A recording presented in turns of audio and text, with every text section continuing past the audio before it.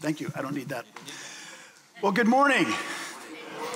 It's good to see all of you again. It's great to be back here. Uh, it's always exciting for me to see what God is doing here among you. Uh, you are a great group of people who love Jesus, and, and I love seeing that. Uh, yeah, no, this is, this is okay. I, can, I, can, I can do this. Uh, right. Uh, so it's good to be back with you. Uh, several weeks ago, when, when Tosh asked me to, to speak, and she said that it was the beginning of a new series called Beyond Sunday and what I talk about our personal lives beyond Sunday. Well, that's sort of everything. So I said, can we, can we narrow it down a bit? What's the scripture passage? Well, whatever you would like. okay. Um, could you tell me what the other messages will be the rest of the series so I can narrow it down? She said, Well, it's going to be beyond Sunday with your friendships and beyond Sunday with your work.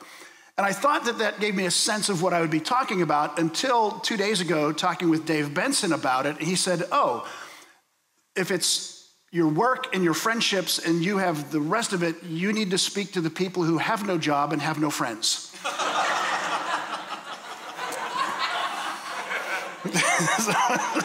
he wanted a sermon for him. That's, that's what it's all about. Uh, so if, if that's you, I hope this will be, you know, be, be, meaningful for you. If you do have a job and you do have friends, you might pick up a thing or two along the way. That'll be helpful, okay? All right, so anyway, let me, uh, let me read the scripture passage. Uh, it's a short one that I want to, to kind of uh, piggyback off of here this morning. It comes from Romans chapter 12, verses 1 and 2. Romans 12, 1 and 2. Uh, Paul simply says this I appeal to you, therefore, brethren, by the mercies of God, to present your bodies as a living sacrifice, holy and acceptable to God, which is your spiritual worship. Do not be conformed to this world, but be transformed by the renewal of your mind, that by testing you may discern what is the will of God, what is good and acceptable and perfect. Let's pray, shall we? Heavenly Father, we do ask that your word would be transformative, that it would shape us, that it would change us, that it would comfort us where needed, that it would challenge us where needed, but most of all, that it would point to you, that it would bring glory and honor to your name above all else. And we pray in that precious name of Jesus. Amen. Do these words sound at all familiar? I woke up in a Soho doorway. A policeman knew my name. He said, You can go sleep at home tonight if you can get up and walk away. I staggered back to the underground, and the breeze blew back my hair. I remember throwing punches round and preaching from my chair. I took the tube back out of town, back to the rolling pin. I felt a little like dying down with a streak of Rin Tin Tin. I stretched back and I hiccuped and I looked back on my busy day. 11 hours in the tin pan. God, there's got to be another way. I know there's a place you walked where love falls from the trees. My heart is like a broken cup. I only feel right on my knees. I spit out like a sewer hole. You, you still receive, yet still receive your kiss. How can I measure up to anyone now after such a love as this? And then the chorus is none of you know. You know the chorus. Who are you? Who, who, who are you? Come on, people. It's one of the biggest bands in British history. Uh, all right, no, we're not going to sing it. All right, you're probably more familiar with it if you watched CSI. It's the theme song to CSI, okay? Who are you? It's by The Who, all right? So, Pete Townshend, who wrote the song, said this about it. He said, When Roger Daltrey sang it, the song became a prayer from a destitute man to God.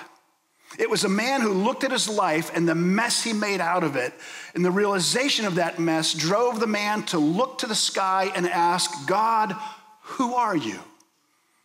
That's a pretty powerful statement about a rock song by a band that, as far as I know, really had no clue who God was. And I think there is something profound about what, what Pete Townshend heard and what he understood was going on when Roger Daltrey sang it. But I think there's something else that is even more significant for our purposes, because there's another way to look at those words and what's going on. That's one of the beauties of art forms. You can see different things going on. Yeah, it can be a guy who's destitute, his life is a mess, he's in despair, and he cries out to God, saying, God, who are you? Are you there? How can I find you? But what if it's actually the man in his despair and with his destitute life, and he's looking in the mirror and he's saying, Who are you? Who have I become? What's happened to me? How did I get here? This was never the plan. This isn't who I thought I was supposed to be. He just wakes up one day, realizes the mess he's made of his life, and says, Who are you? It's a real question of identity. And it's a question that we all ask from time to time. Have you ever been in that place where you woke up and you wondered, How did I get here? How did I become the person that I am? And who am I? Who am I supposed to be? When it comes to living life beyond Sunday, that's the question that applies. Who are you? Who are you from Monday to Saturday? Now, if you're a follower of Christ, well, you know, the question can be even more specific. Lord, who have you made me to be? Who do you want me to be from Monday to Sunday? Because part of what we need to recognize is it's difficult to answer that question because of the culture that we are immersed in. That's part of what Paul's dealing with, that, that we live in a culture that shapes us. And we often don't even recognize that, that we're being shaped by that culture. Yet, each and every moment of each and every day, we're living in a world that is moving us in a certain direction, trying to conform us into something. And Paul is saying, no, we need to be aware of that, and we need to figure out what's the version of ourselves that God wants us to be, and how do we do that? But the problem is, we live in this culture. We're immersed in it wherever you are. It doesn't matter which side of the pond you're on, it doesn't matter where you come from, what your background is. You have a culture that has shaped you in certain ways. Because it is, as Glenn Scrivener in the book of the same title that he wrote, it's the air we breathe. It's just what you take in all the time. There's another way to think about it, uh, and, and, it's simply this. Think about the, the, the story there's two young fish just kind of swimming along and coming from the other direction is an older, wiser fish who, as he passes the two young fish, says, Hey, boys, how's the water? And they don't respond at all, and they keep swimming. And finally, one of the young little fish turns to the other one and says, What's water? They have no idea. It's just the environment that they're in. They don't recognize what it is that is giving them life, what it is that they're swimming in. It is just what they have going on every day. Let me give you a personal example from my own life. So, in the years prior to becoming a teenager, uh, my family lived in pretty much a blue collar working class part of town. I grew up in Pittsburgh, which is just known for steel, for heavy industry.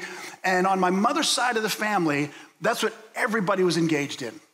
My grandfather and my uncles, they all got up every day, whatever shift they were working, they went to the mill, they put their time in, they stopped at the pub on the way home, they made their way home, and, and they did that every day. That was life. And what they looked forward to was the day when they could retire. You know, they've paid their union dues, they've put their time in, they've worked hard, and retirement would come someday when they could go hunting or go fishing, spend extra time at the pub, and just relax. That was the goal of life. And that's what pretty much all of my cousins on my mother's side of my family did as they grew up. Now, what's interesting is Nobody said, This is what you are supposed to do, and this is what the good life looks like, and this is what we value and love. It's just the way it was. My grandfather didn't sit down with any of my cousins, my uncles didn't sit down with any of them and say, Okay, here's what you do. You go to the mill, you get a job starting doing this, and then you'll move up to this position, and then eventually that position. And you go to your union meetings and you pay your dues, and you keep doing that until you come to retirement, and then you retire, and that's, that's the goal of life. Nobody said that's what it is, it just was. And nobody said that education doesn't matter, but that was part of the reality. No one in my mother's side of the family ever went to college until I did. It just wasn't talked about. It wasn't part of the air we breathed. It wasn't part of the water we swam in. Fortunately for me, my father's side of the family was a little bit different. My father grew up on a farm, not the inner city. His father was an immigrant who bought a farm, bought a, a, a, butcher shop, and worked hard and did everything he could to continue to improve and increase their lifestyle. And so my father grew up in that environment, and we moved from the inner city out to the suburbs to a, a more upper middle class environment where all of a sudden working at the mill was not even on the radar. It was about getting an education. But again, my father never sat me down and said, okay, here's the plan. Here's who we are. Here's what we value. Here's what we love. Here's what you're going to do. It was just the air we breathed because everybody else in that neighborhood was living according to the same values. And what all of that was pointing to is in all, each of those situations, this is what we value. This is what life, the good life, looks like in our terms. And in essence, what it was is that became what people loved. They're loving that good life. They're looking for that life that will fulfill them and, and will give them what, what is valued in that culture. Whether it's eventual retirement and going to the pub, or whether it's getting an education, or whether it's moving up to the next nice neighborhood, whatever it is, those were the things that drew people, that motivated people. And again, it wasn't explicit, it was implicit. It was just there shaping you. And we all experience that kind of thing every day moment by moment every day. The culture is shaping us in different ways without explicitly teaching us. Let me give you another example that you all experience all the time. When's the last time you saw a toothpaste commercial that explained to you the chemical makeup of the toothpaste and the chemical reaction it had on your teeth, and also told you the proper way to brush and how many strokes and all? No, you don't get commercials like that what do you get? You get people with beautiful smiles who find themselves being wanted by very attractive, sexy people with other beautiful smiles. And what does it tell you? The good life can be had if you use our toothpaste. and the good life is what? That beautiful, sexy people will desire you. Now, it doesn't say that because if it said that, what would we do? We would all laugh, like, that's ridiculous. But the image is there. And subconsciously we go, oh, yes. And we're shaped, we're molded by the things going on around us in the culture. What we end up doing if you're a follower of Christ is that you may be aware of that. You may be aware that there's this kind of thing going on and that you're supposed to be following Jesus, and somehow your life is supposed to be different. But what we end up doing so often is we end up compartmentalizing our lives into Sunday and then Monday through Saturday, which is the reason for this series because we find ourselves getting out of this fishbowl in the water we swim in, and we get into the next fishbowl of Monday through Saturday, and we swim in that water, and the two never meet. And we live these bifurcated lives. We live these lives that somehow separate out. And at best, we end up trying to figure out a way to still be Christian and live in the culture, but we don't end up being very different from the culture. In fact, we take some of the same things that we've been shaped by and we Christianize them. So when it comes to living a certain way in terms of our family and what we do and what we care for, we baptize it in Christianese kind of language with ne- never asking, Jesus, is this who you really want me to be? Is this what I'm really supposed to be all about? So, in the case of my father's value system of, of providing for your family and getting an education and moving up and living in a nice neighborhood and all of that sort of thing, it's very easy to Christianize that and say, yes, that's what God wants for me because God wants me to be blessed. And that's blessing. But what if who the Lord has you to be is somebody who's actually supposed to go the other direction and move to the inner city and live among people who are different and in need and struggling and hurting? So, oh, we're not so sure about that because we've been shaped by a different value system. When maybe God is calling us to something else, something different. So we need to ask the question Who am I, Lord? When I look in the mirror, who do you want me to be? Who do you want me to become? Paul is concerned about his Roman audience. People who've come to faith in Christ in the midst of a culture that is anything but Christian. And he's concerned that they've grown up in that culture and they live in that culture, and the values of that culture have just been absorbed into their lives and they don't even recognize it. And they've been shaped by it. He understands that in the Roman world, it's about power, it's about control, it's about domination. And unfortunately, in the Christian world, we could take even that kind of value system and baptize it and say, oh, we'll use those things for the sake of the kingdom. Without ever asking, Lord, is that how you want us to be? Is that what you want us to do? My cousins, if you ask them, what is it that you love? They wouldn't say, I love the idea of going to the mill and stopping at the pub and eventually retiring. But if you observed how they lived, you would find out no, that is really what they love. That's what they yearn for. That's what they long for. That's what gives them satisfaction. If you had asked, you know, the, the, people in Paul's day, the Roman citizens, oh, do you love domination and power and control? Oh, no, no, no, because that just sounds, you know, way too bold but if you looked at their lives, you'd realize no, that is what they love because that's what gives them meaning. That's what they're striving for, that's what they're trying to achieve. So, how do you answer the question of who are you? Part of how you answer it is by asking, Who do you love? What do you love? What do you yearn for? What, what gives you a sense of fulfillment and satisfaction? And a sense of, of being who you want to be. Paul's first verse really comes into play here when he says, Don't be conformed into the thinking of the world. I love the, the way uh, one commentator, William Hendriksen, translates that verse. He says, Stop allowing yourselves to be fashioned after the pattern of this evil age.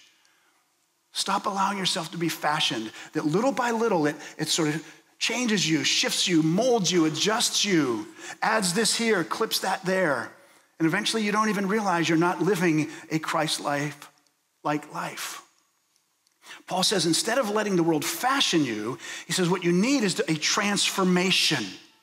You need a change from the inside out.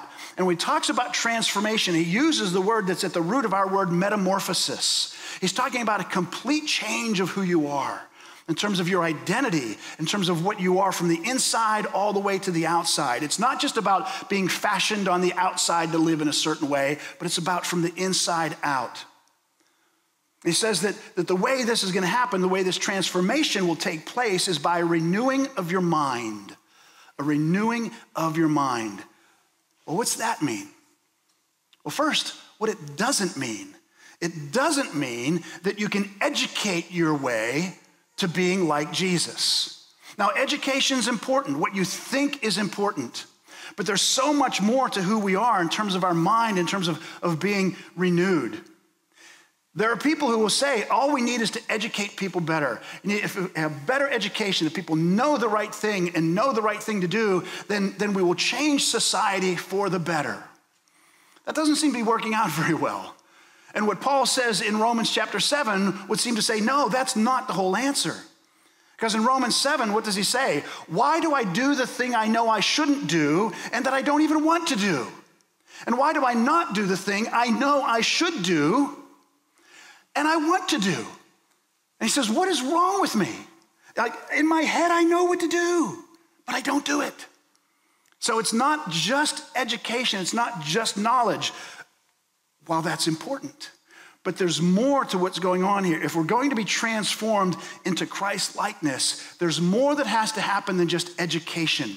There's more that has to happen than just knowing, you know, Bible verses that you can recite or being able to, to recite theology that you learn. There's something else that has to happen deep down inside of us. Because it's not just about our mind, it's about our whole being. It's not just your intellect, it's not just how you process information, it's about everything that you are. I mean, how does Jesus put it when he says that, that you're to love the Lord your God with what?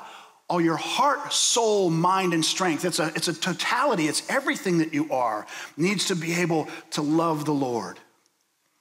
Well, how does that happen? How do you, how do you start with that? Let me suggest that Monday through Saturday, your personal life, Monday through Saturday, actually starts right here.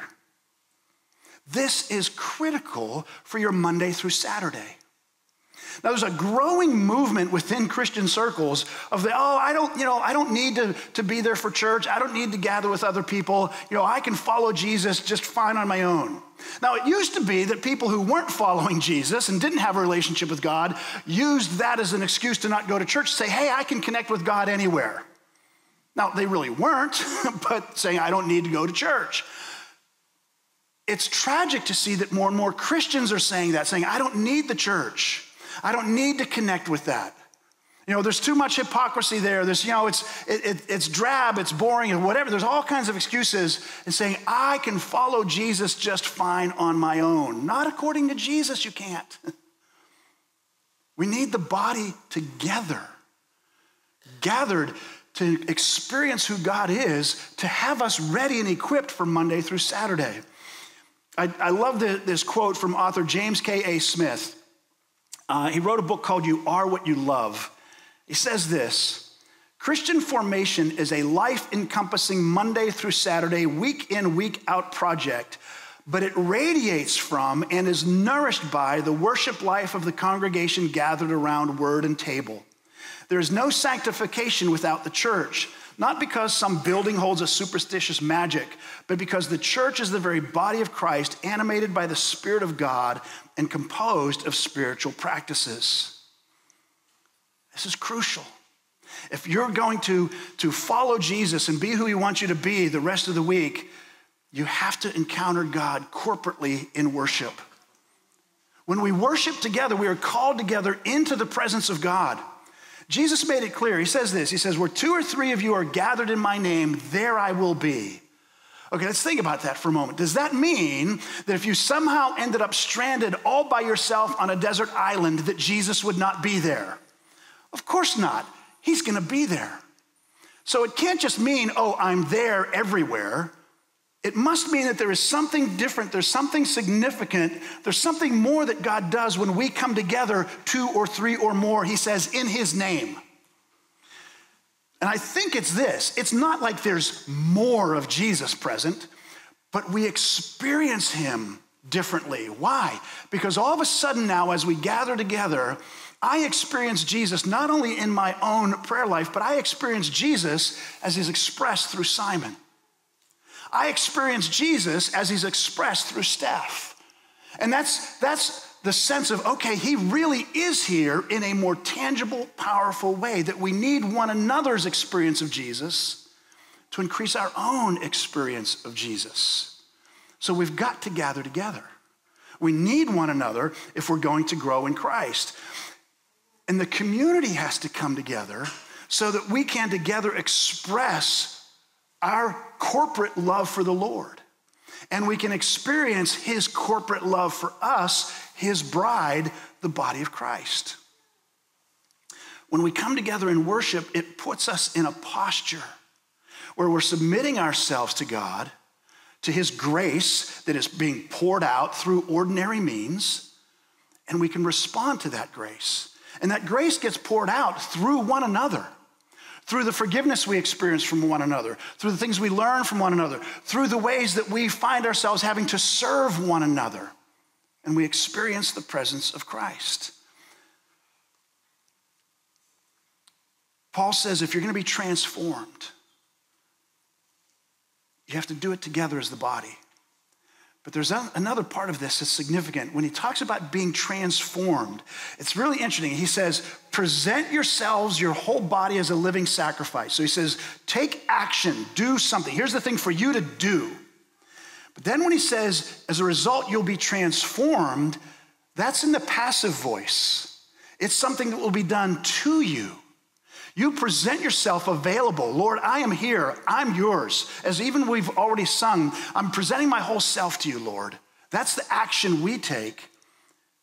And then, in a sense, we are passive in that God's grace works in us, and the Holy Spirit shapes us and moves us and does things within us that, that happen without us even recognizing it. But we've made ourselves available, we've put ourselves in the right posture. So, what about Monday through Saturday, since that's what this is really all about? I want to propose that one key piece to living Monday through Saturday for Jesus is what we at our church call habits of grace. You've probably heard them referred to as spiritual disciplines. How many of you heard that phrase, spiritual disciplines? Okay, so you know what I'm talking about. We're talking about prayer and fasting and reading the Bible and journaling, serving others, giving generously, all that kind of stuff, okay? I don't like the phrase spiritual disciplines because I don't like discipline. like, let's just, I like spiritual things, but the discipline part, nah, not so sure. But one of the things I've noticed about how we respond to the phrase spiritual disciplines and so much of the teaching about it over the years is it becomes this thing that it's all on me.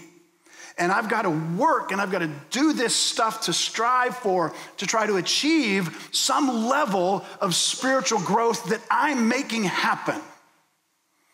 And that's not what's going on when we do these things well. And it's why I like the phrase habits of grace better. Because just like when we gather together and we experience Jesus from one another, it, without even us doing something to make that happen, we just come together, we worship together, and God says, Okay, I'm gonna make myself known through you. That's a gift of grace. And it's the same thing with our spiritual disciplines, if they are habits of grace, things that we just do. You know, and, and your habits, when you have habits, you really don't have to work at doing those, do you? You just, you just kind of do them. You've learned to do them. Early on, you had to work to get used to it, but eventually, it's just who you are. It's just part of your being. And God works in that by making himself known in those habits of grace. By making himself known through our prayer, through our meditation, through our scripture reading, through our serving of others, through our giving. So, practicing those things will begin to shape who you are, and it will actually begin to shape what you love and how you love. Even if you don't feel like doing habits of grace, go ahead and do them anyway, because God will begin to work through them. And this is an important thing in our culture that so values authenticity. You know, I want to be authentic. I need to be my authentic self. And usually, what that means is I just need to do only the things that I feel like and want to do and are easy for me right now. because if it's hard for me to do, that must not be who I am. No, sorry, that's not how this works. You know, in, in Christian terms, we say, oh, I don't want to be a hypocrite. You know, I don't want to pretend you know, that I'm doing something I'm not really, that my heart's not in, that I'm not really engaged in. You know, if, if, I have a, if God says I'm supposed to love my neighbor and I have a neighbor who is just a jerk, I mean, what, am I supposed to pretend that I love them? Like, that's just, that's fake. That's not authentic. That's hypocritical. No, you're supposed to pretend that you love them.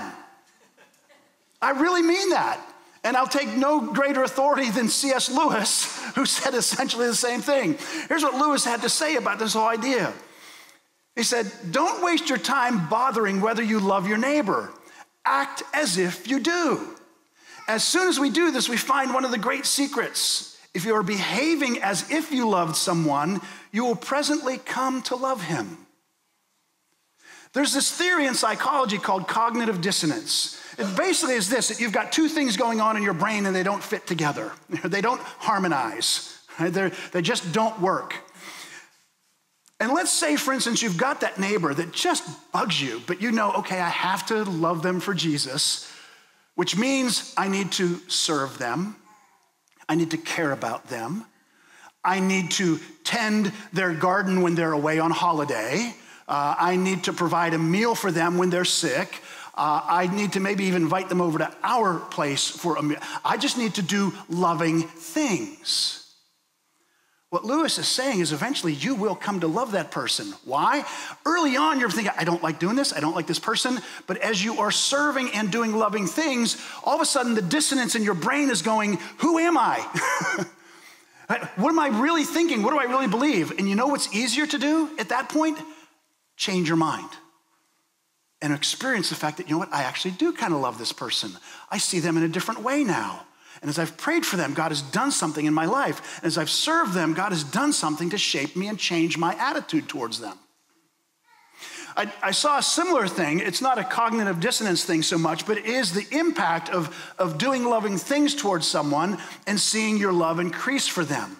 And it had to do with something I did for my wife. So she, she had a birthday that was coming up, and ladies, you'll understand if I just say it was a birthday that ended with a zero. Okay? It doesn't matter what year it is, it ends with a zero. That's traumatic. All right? So she, she had one of those birthdays coming up, and it was one of the more traumatic zero birthdays. So I learned enough in our years of marriage that I said, okay, honey, um, do you want me to just ignore this birthday? Or do you want me to like make a big deal out of it? She said, oh, you better make a big deal out of it. Okay, I got it, got it. So um, she, she was a teacher, and at the time she was teaching Spanish, had been teaching Spanish for some time. She had been a Spanish major at university, but she'd never been to Spain. Her birthday happened to fall on a weekend that we had a three day weekend. It was a Monday holiday. Her birthday was going to be Saturday. Now, I also need to say, as I'm telling you this, you're going to think, oh, he is such a wonderful husband that he did that for her birthday. Yesterday was her birthday and I was here, so I, I, I don't always get it right, okay? Because after I stepped at this whole thing, she said, You'll be away on my birthday. It's not a zero birthday, so I'm okay. So, anyway, I said, Okay, I started to figure this out. I said, Here's what I'm gonna do. On Thursday, I'm gonna show up at school, I'm gonna get her out of school. I arranged for a substitute teacher for her. Uh, I packed for her hey, hey, hey. It's okay. We were going to Madrid. It's her birthday. If I forgot anything, we'll go buy it. Happy birthday, honey. You know, but I noticed, you know, that morning I noticed she, she had a skirt that was a khaki colored skirt, so I grabbed her khaki slacks. You know, so I'm thinking, I show up to her classroom. She immediately thinks, What happened to one of our sons? You know, I said, no, nothing. It's okay. Come on. We're, we're taking a little trip. We get to the car. We're heading to the airport. She has no idea where we're going. I had put together a three ring binder with all the top 10 things to do in Spain that was in the back seat, and I'm making her guess what's happening, where we're going. And when she finally guessed, I gave her the notebook and, you know, going through all that stuff. We go to Spain. You know, we had three wonderful days. It was amazing. You know, came back home, and, and God was really in this thing uh, because on our flight back home, as we're checking in at Madrid, we got upgraded to first class. Yes, honey, I arranged that. Uh, now, here's the thing Did I already love her? Absolutely. But you know what I experienced in doing all that? With every little thing I did, I loved her more and wanted to do something more. That's what God does when we actually begin to put into practice, when we take our bodies and do the things that our mind knows we should do that He works in us spiritually to develop then. Habits of grace work the same way. You know you're supposed to be reading scripture and meditating on it, but you don't always feel like it. You know, maybe you started a through one year through the Bible reading program on January 1st and you're already 4 days behind. That's okay. You know, you'll catch up eventually and it's no big deal, but as you continue to do that, God will shape you. And eventually you'll get to the place where you, oh yeah, it's just automatic. You're just gonna do it. It becomes a habit. And God's grace comes through that. Or as you pray, or as you journal, or you fast, or whatever it might be. And, and, and these habits are numerous. You know, giving financially is a habit of grace. It's hard to do it first and be sacrificial, but God does something in us and through us when we continue to do that. Serving people who you don't like is a habit of grace because, yeah, you'll be serving them, but you're the one that's going to be transformed by the renewing of your mind and changed and made into somebody more like Jesus. But it takes practice. It's not inauthentic, it's not hypocritical to do it when you don't feel like it. It's amazing to me that, that, that it's habits of grace that seems to be the only area that we say, oh, no, I can't do that. That's not authentic. I'm not feeling it right now.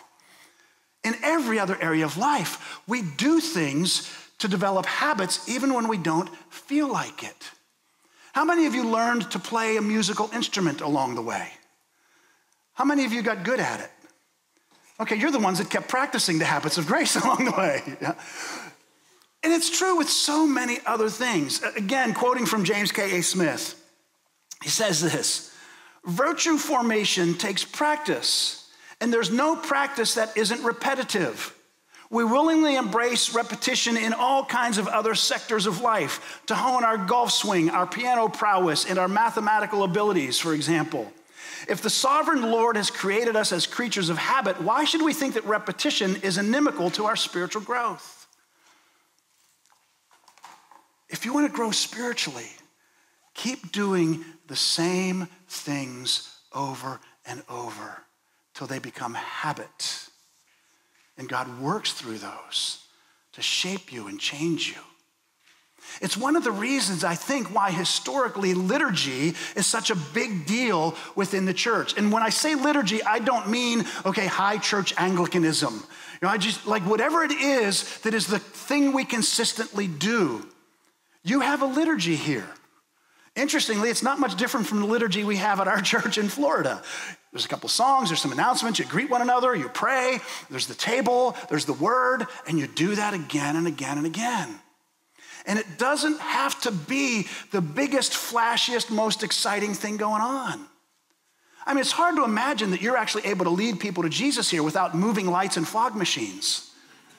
But you can because you just consistently do the stuff that Jesus calls you to do. It becomes a habit that can be new every morning because the Lord's there and He's in it if we're open to what He's doing. The Lord promises to meet us in our habits, and He infuses them with His grace, with His presence. And what ends up happening is you learn to love those things and love Him more over time and you will become what you love. You'll become like Jesus because of those habits filled with grace, those ongoing practices that lead you more and more into your relationship with Jesus. And it really is about becoming like Jesus. Who are you? You are Christ's own. You are his hands and feet in the world. And we can say, oh, yes, I love Jesus, but find that we're actually being conformed and shaped and fashioned into what the world says we should love because that's the habits we live with. So if we change those habits, even just start with one, say, you know what, I, my prayer, I need to pray more. I need to figure out how to pray. Well, force yourself to. Just like you forced yourself to learn how to swing a golf club or play the piano or do maths. And eventually, what happens is it just becomes a part of you. And you yearn for it more, and you learn to love Jesus more. Now, what's the point of doing these things in terms of our relationship with Jesus? It's not to earn anything. And that's sort of the problem I have with spiritual disciplines. It sounds like me doing this stuff so Jesus will say, Oh, yes, you're welcome now. You know, come and be a part of me. No, it is doing things that allows Jesus to shape us. And it's doing those things because you already know that he loves you.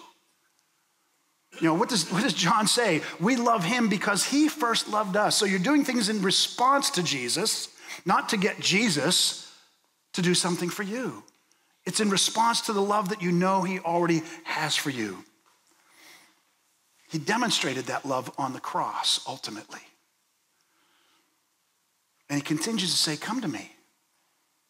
Come to me with all you are, all your brokenness, everything going on in your life, and just day by day, one foot after another, do the ordinary things of praying, of reading, of serving, of giving, and see if through those habits of grace, God doesn't shape your character so that you get to the place where you just want to and yearn to do the things that God loves. And they become the things that you love. That's a whole lifelong process, to be sure. But it's a response to the good news, to the gospel, to the grace that God has given us. And that will shape your behavior and your character, your personal life, Monday through Saturday. Amen? Let's pray. Lord God, it is at times difficult to discipline ourselves to do the things we know we need to do. But Father, I pray that you would remind each one of us of your incredible love. And we would respond to that love.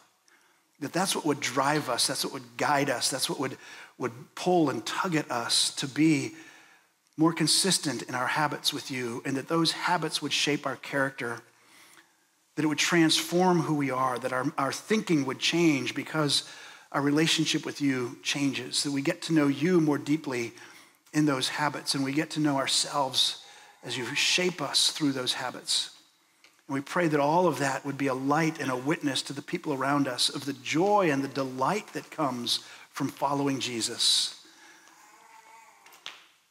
We pray that it would be your kingdom that we experience and that people see and are drawn to, and that they come to faith in Christ because you've made us more like yourself. In your name we pray.